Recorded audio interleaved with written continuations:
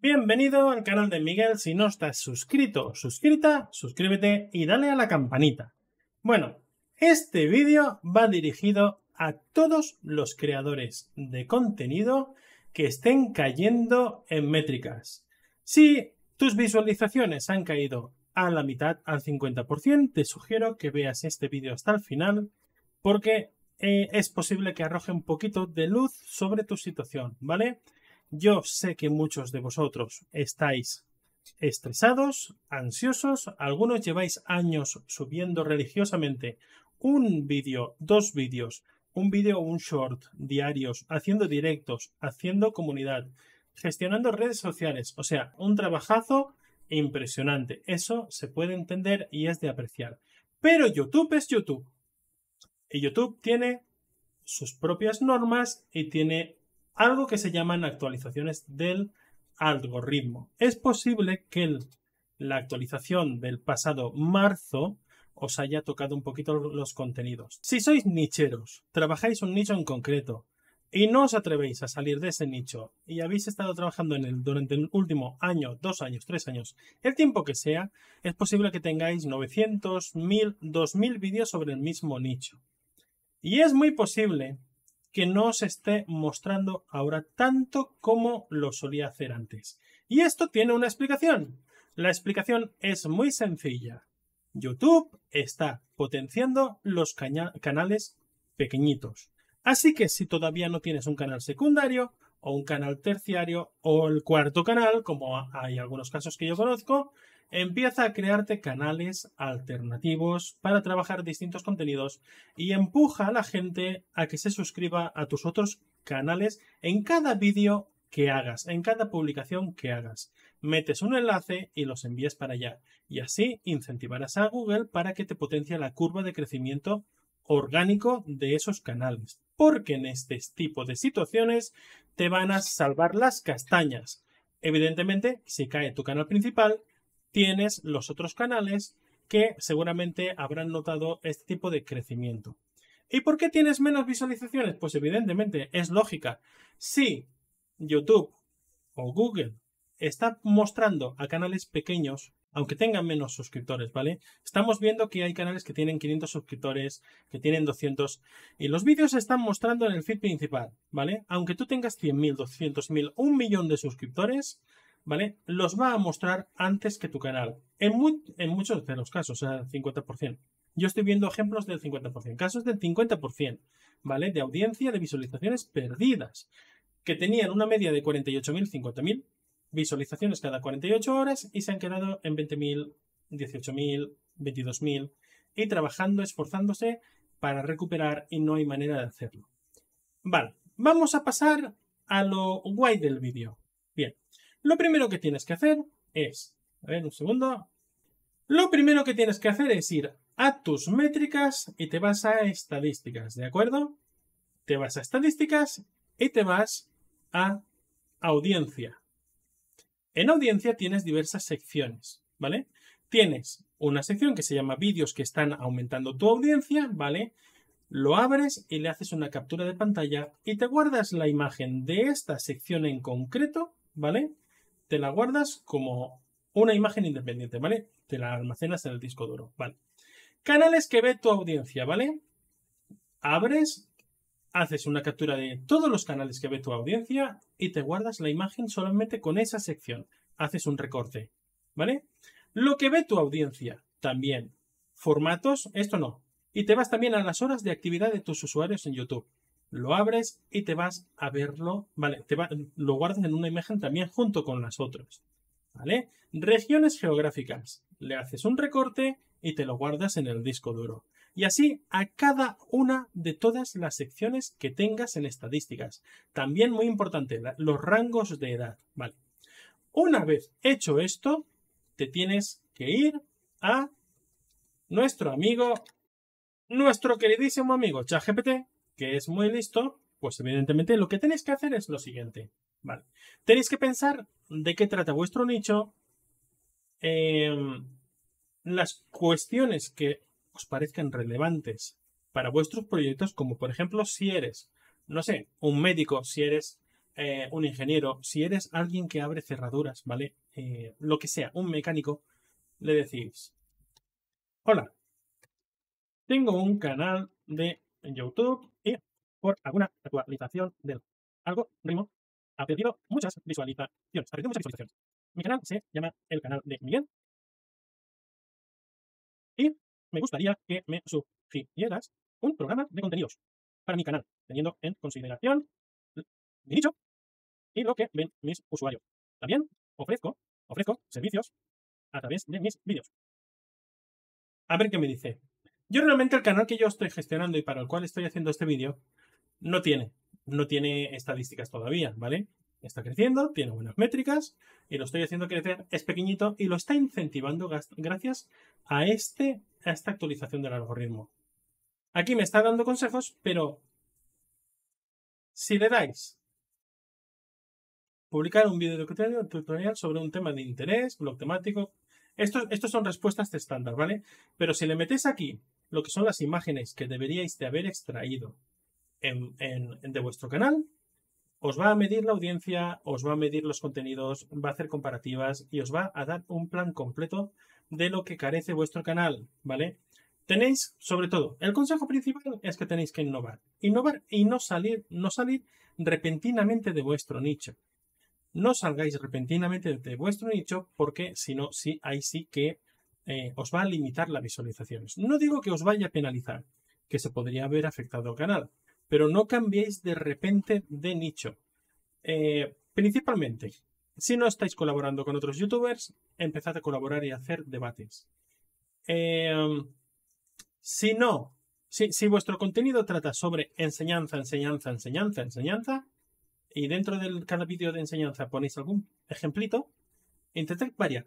O sea, iros directamente a un ejemplo, a un caso real, y entre líneas decís aspectos técnicos, ¿vale? Intentad cambiar el tipo de, de, Hacerlo más de entretenimiento. Una historia que cale en la gente, una historia que enganche. Porque a veces muchos canales pecan de tecnicista, de, de ser demasiado técnicos, ¿vale? Sí que es verdad que hay audiencia para todo el mundo. Pero evidentemente hay canales más pequeñitos que tendríais que empezar a analizar qué es lo que están haciendo para ver por qué motivo os está quitando visualizaciones. Y aquí es el kit de la cuestión.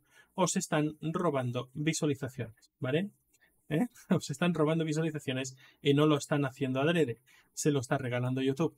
Así que bueno, pensad un poquito, tomaros un tiempo de reflexión, no apretéis más lo que hasta ahora no os eh, os ha estado funcionando e intentad tener ingresos de forma secundaria, ¿vale? que YouTube no sea vuestro ingreso principal. Eh, YouTube está muy bien para crecer, para potenciar tu marca, está muy bien para incentivar otros proyectos, impulsarlos, darles relevancia, eso, todo eso está muy bien, ¿vale? Pero si llega un día y te cortan el grifo eh, y no tienes un salvavidas, es como con todo tipo de inversiones, ¿vale? Estás invirtiendo un tiempo precioso, hay veces que haces un vídeo, le dedicas cuatro horas de tu tiempo y sacas una rentabilidad de 6 euros o 8 euros por un vídeo. Tened eso también en cuenta. A ver, en ocasiones tiene muchísimo más, valor em, lo que podéis sacar vosotros fuera de YouTube como posibles potenciales clientes, conversiones, etcétera, que la propia publicidad. La propia publicidad se paga muy poquito. Creo que se está pagando cada mil visualizaciones, creo que se está pagando a, entre, 30 y, no, entre 25 y 45 céntimos de euro. Mil visualizaciones, ¿vale? Así que si estáis en el punto en el que estáis subiendo contenido y os van a ver mil visualizaciones cada vídeo que hagáis, que sepáis que seguramente sacaréis unos 3 euros, unos 4 euros por ese vídeo. Eh, eso no es un sueldo al día una persona de media necesita por lo menos entre 35, estoy hablando de Europa, ¿eh? entre 35 pavos y 60 euros para poder vivir. Eh, y tampoco es opción publicar 3, 4 vídeos al día. No hay ninguna norma escrita sobre esto de publicar varios vídeos al día. Lo que tenéis que ser conscientes es que YouTube solamente os eh, permite enviar tres notificaciones a vuestros seguidores. ¿Qué quiere decir esto? Pues diariamente, cada 24 horas, tenéis tres notificaciones, ¿vale?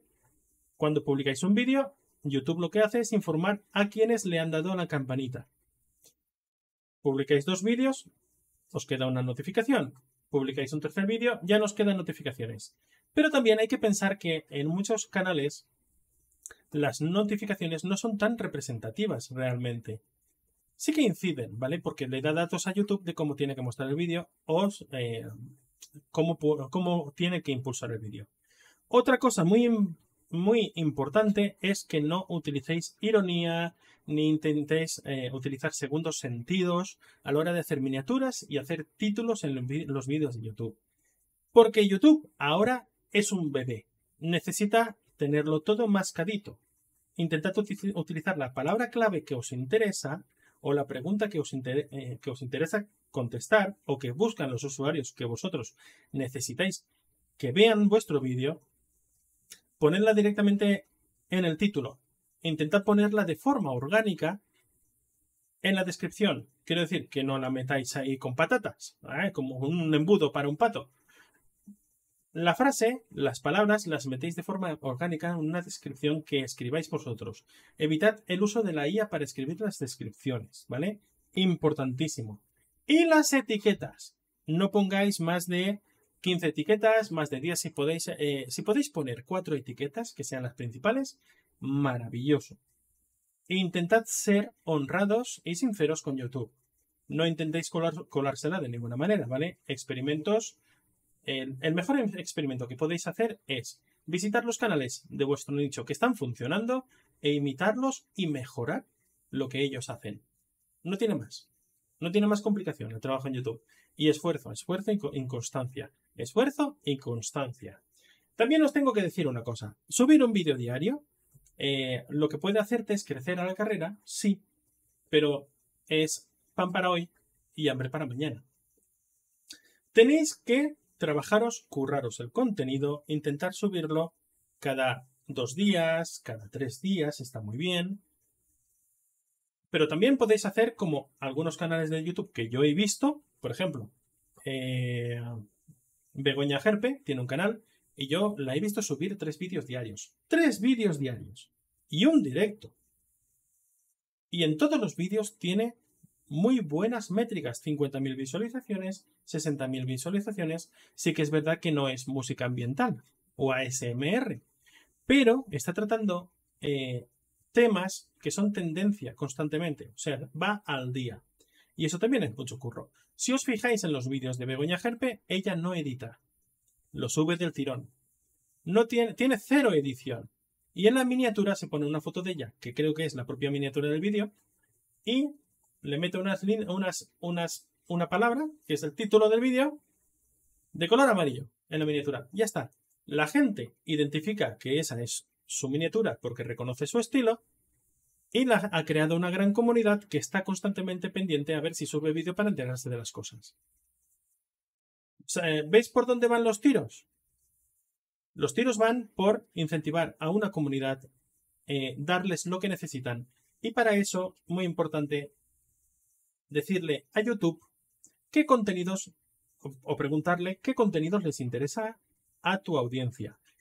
Hay un apartado que lo hemos visto antes, que es el de qué canales ven tus usuarios o qué vídeos ven tus usuarios. Y ahí te, te, da toda la información que necesitas. Pues si mis usuarios ven mi canal, que yo soy, eh, por ejemplo, soy guardia de seguridad, y están viendo canales de entrenamiento físico, ¿por qué no me pongo a hacer reacciones a vídeos de entrenamiento físico?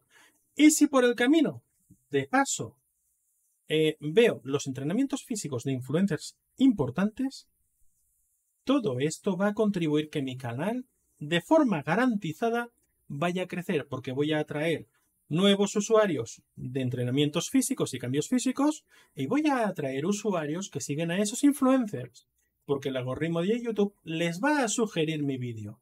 ¿Vale? Espero que este vídeo de hoy te haya servido para algo. Me pica la garganta. Y sobre el tema de los fondos, ¿vale? Sobre el tema de los planos, los fondos, yo soy un puñetero desastre. Hace poco me mudé aquí.